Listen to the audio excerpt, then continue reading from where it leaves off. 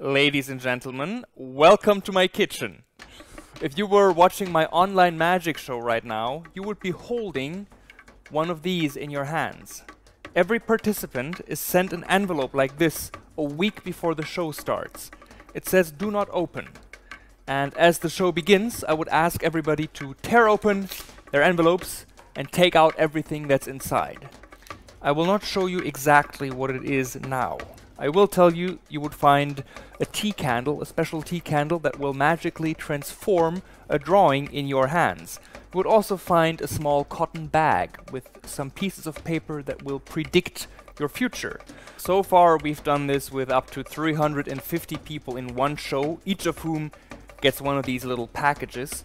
It could be a lot more, but if you have a very large audience and not everybody's able to get a package, there is a B version of the show where only a small portion of the people get a letter and everybody else gets an email with some things they can print out at home. Either way, every participant has some things to hold on to and work with during the show. I can produce this at home. It would look like this.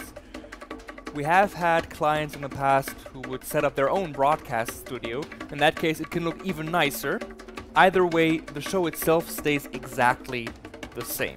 If you have any further questions, please contact us. I am looking forward to meeting you on this marvelous internet. Bye! Svenja, is it okay if I just leave all this set up forever? Would, no, that really would help me a lot.